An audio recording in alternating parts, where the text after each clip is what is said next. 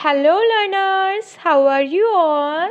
I hope you all are staying safely at your home and doing here learning every day.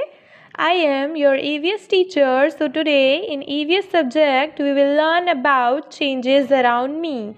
So, students of class 2nd, kindly take out your EVS book and open page number 169, which is chapter number 5 Changes Around Me.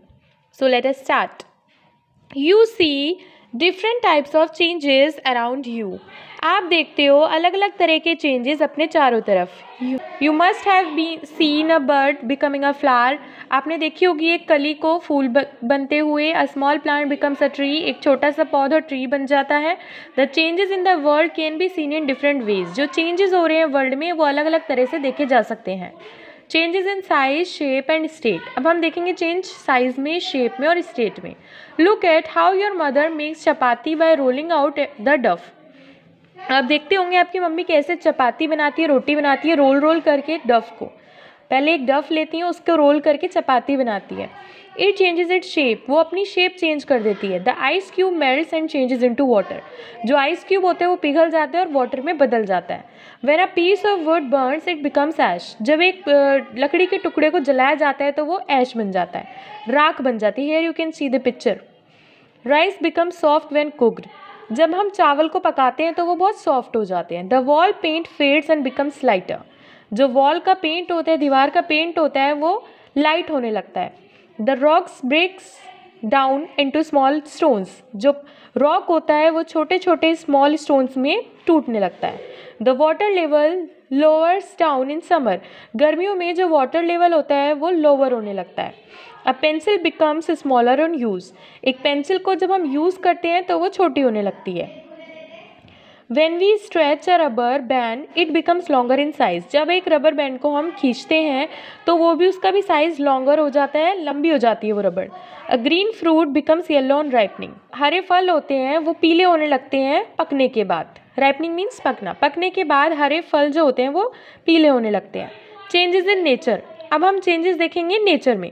The day ends and night starts दिन खत्म होने लगता है तो रात शुरू हो जा, होने लगती है.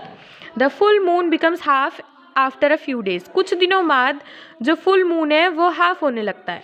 Now learners kindly open page number 170 green leaves become yellow and shed off जो हरी पत्तियाँ होती हैं, वो पीली होने लगती हैं और शेड ऑफ़ वो झड़ने लगती हैं। The summer season ends and winter starts गर्मियों के सीज़न जब ख़त्म होने लगते हैं, तब सर्दियाँ शुरू होने लगती हैं। Winds blow away the clouds with them winds होने लगती है क्लाउड्स के साथ। Collapse due to earthquakes building एक दूसरे से टकराने लगती है कोलैप्स होने लगती है अर्थक्वेक की वजह से। Here you here you can see the picture vehicles get damage in accidents accidents में व्हीकल डैमेज हो जाते डैमेज होने लगते हैं। Here you can see the picture on heating water start boiling heat करने पे वाटर गर्म होने लगता है। चेंजेस इन लिविंग थिंग्स अब हम कुछ चेंजेस लिविंग थिंग्स में पढ़ेंगे। A child becomes a man एक चाइल्ड मैन बन जाता है। A seed grows into a tree एक सीड अगर हम ग्रो करेंगे तो वो ट्री बन जाता है। अ पप बिकम्स अ डॉग एक जो पप्पी होता है वो डॉग बन जाता है। Calf becomes a cow calf cow बन जाती है।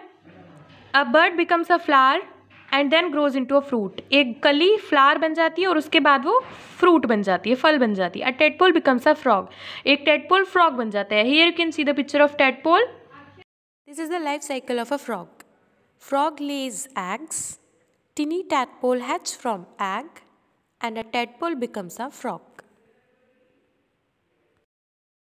Seasonal changes अब हम कुछ सीजनल चेंजेस पढ़ेंगे. We wear woollen clothes in winter but we wear light cotton clothes in summer हम वुलन गर्म कपड़े पहनते हैं सर्दियों में और लाइट हल्के कॉटन क्लोथ्स पहनते हैं हम गर्मियों में.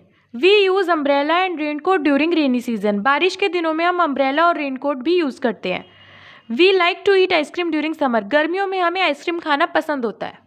Now learners open page number one hundred seventy one we take coffee during winter season सर्दियों में हम कॉफ़ी पीते हैं। We eat mangoes and watermelon during summer गर्मियों में हम मैंगोज और वाटरमेलन खाते हैं।